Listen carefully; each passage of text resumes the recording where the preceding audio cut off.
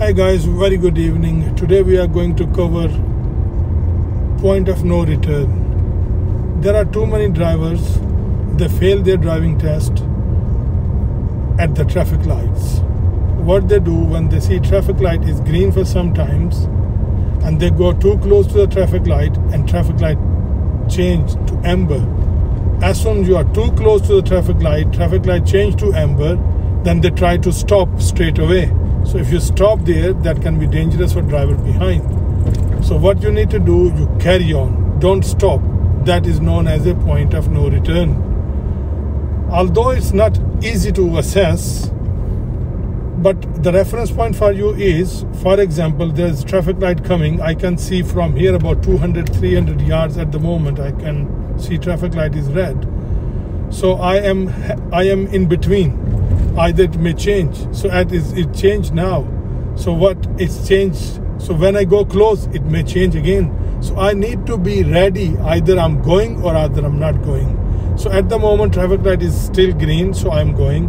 When i'm coming somewhere here and it's try to change the traffic light then i'm not stopping. You understand what i mean?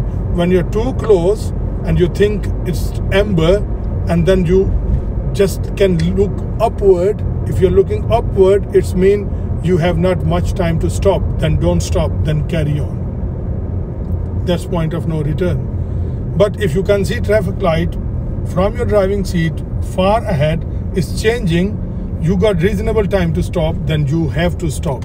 You will not try to foot down go fast to take the traffic light. No you will not do that. If you do that you will fail your test but if you stop on a point of no return, even then you will fail your test. I will try to drive a little bit more in case if there is any situation I can create, I will show you. Otherwise, I will keep explaining you. Now this is pedestrian crossing, so I don't bother. It won't change because there's nobody and they are puffin crossing as well. So puffin crossing means they got a little sensor on top. If there is any pedestrian on the pedestrian crossing, they don't change. Okay, so I can see traffic light is changing again so it's mean we have to stop there. So I'm easing off the gas I will let my car roll and then I stop nicely.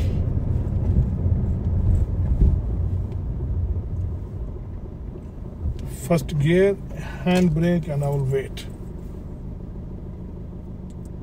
I will not recommend you handbrake if it is not too long but this traffic light will take too long because we just came and it's changed. And it's four ways as well.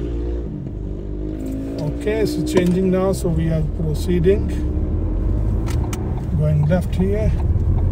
So let me check another traffic light if we can see. Okay so I can see about 500 yards traffic light is red. So that can be changed by then. So there's somebody in my lane so I need to check mirrors move over to the right hand lane to overtake these cars. So I can see traffic lights change again. It's red.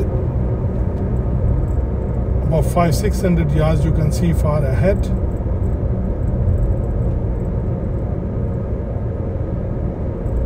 I am waiting for the moment to explain you after this last park car I'm gonna check send in the left mirror. I will touch indicator and I will come back in my lane. That's it. Traffic lights change again. So I'm turning left at the light so checking on the left mirror indicator left. Dropping my car to second gear. It's still green. If it change here I'm not stopping. See? It's just changed. I didn't stop because that was point of no return. If I would stop that point, I would have failed my test. I hope you understand. That was the best example, I think.